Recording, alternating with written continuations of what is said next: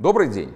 Я Максим Багрецов, представитель команды Виктора Бабарика и оргкомитета партии «Разом». Прошел почти год с тех пор, как политические события в нашей стране стали причиной беспрецедентного кризиса. Кризиса, который, мы уверены, будет иметь долгосрочные последствия для всех, кто своей жизнью связан с Беларусью. Этот кризис разрушает наш человеческий потенциал. Он ломает жизни людей, разрушает экономику, приводит к ослаблению независимости и суверенитета. Бизнес перевозит э, опытный и высококвалифицированный персонал за рубеж.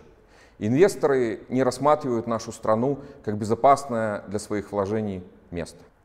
А многие молодые перспективные люди, вместо того, чтобы учиться и с оптимизмом смотреть в будущее, уезжают, сидят за решеткой или переживают из-за своих пострадавших друзей и коллег. Не все из них будут связывать свое будущее с Беларусью. Часть из них страна теряет навсегда.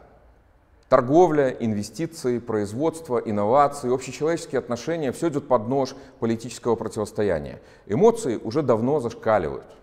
Казалось бы, что хуже уже быть не может, но эскалация продолжается и уже представляет прямую угрозу экономической состоятельности, независимости и суверенитету.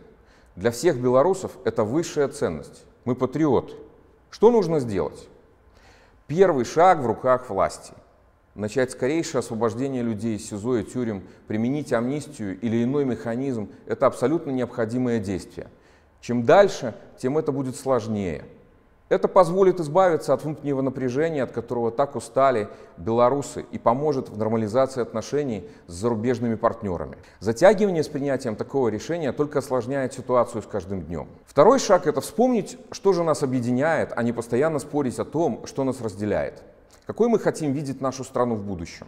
Свободной, сильной, богатой, процветающей, с экономикой с высокой долей услуг или производства, как обеспечивается порядок в стране, как мы видим конституционный строй и механизмы выражения воли людей. Как мы дадим людям понять, что их дети могут спокойно связывать свое будущее с Беларусью? Для того, чтобы последствия кризиса не пришлось разгребать нашим внукам или их детям, нужно начать диалог.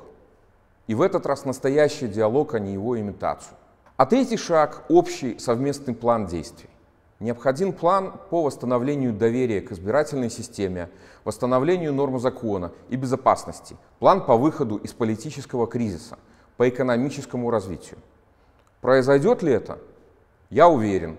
Все зависит от того, как быстро мы начнем действовать.